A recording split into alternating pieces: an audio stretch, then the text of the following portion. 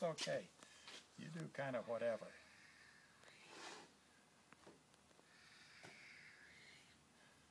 So what you're going to do here is you have your coils. So this is a gasifier. Well, I mean, Now this is your boiler. for a pelletized pelletized for biomass burner. That's good. So what you do here is because it's it's a uh, when you have a stationary power supply, you do things differently because you have a lot of room. So you have a big smokestack. So you have a smokestack 20 feet tall. And the smoke comes out the bottom and it goes up the smokestack because this smoke's going to be, you know, 400 degrees. Maybe you can get it down to 300 degrees, but it's hard to get much below 400 degrees. So there's several ways of doing it. One way is you put your your pellet burner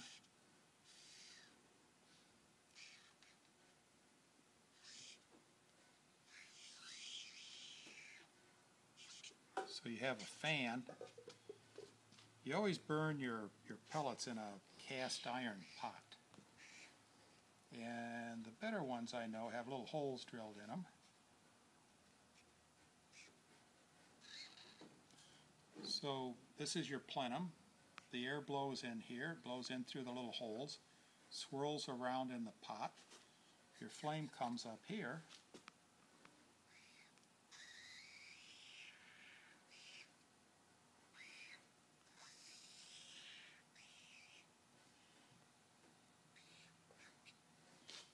Flame comes up here, goes down through here, goes up the smokestack. Now you can take this and put right on top if you want to. And the flame comes out, you know, then the flame comes out and goes down. And it takes a little bit when you're trying to make this corner with your heat to get it started. It takes a little bit, it's going to smoke a little bit until you your hot air in here and then it'll draw. As soon as you get hot air in here, then you get plenty of draft and plenty of draw. So your smokestack hmm. is, is always cheaper than a fan, but it just takes a little bit to get it started. And it's going to smoke and fool around while you're firing it up. Once it's fired up, you're in business. So How would we? How do you what? How would you put this right on top here? So just close that off and draw that draw that there. This is the this could be the secret right here.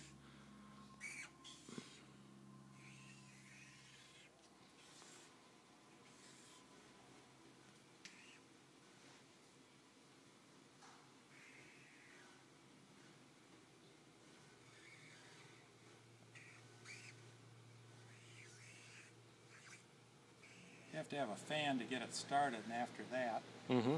so you have your crucible. We have a corn burner, which is the same as a pellet burner, over here to, so you can look at it, and it works kind of good enough. But so you have your flame here, and all you do is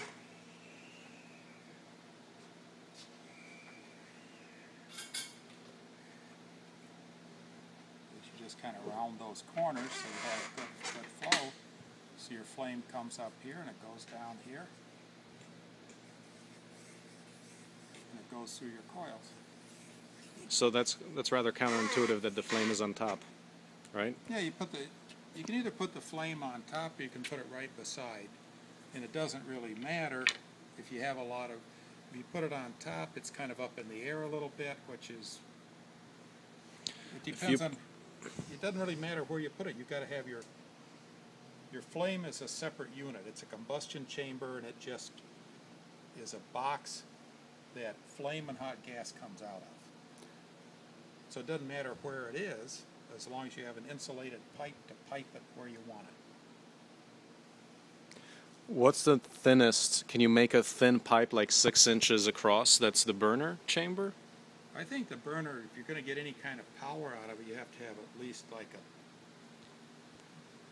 bucket, like about a foot in diameter at least, and uh -huh. a uh-huh. foot tall, if not more, to get any kind of a flame out of it. Um, I would have to look at. Uh, I forgot what our uh, what's our BTUs on that corn burner, Terry. You remember? We'll go look at it. Mm -hmm. Was it 250,000? I don't think it was 150 that much. I think it was probably a hundred and fifty thousand. Hundred and fifty thousand? See, that's only a gallon and a half an hour. So, but that'll get you five horsepower.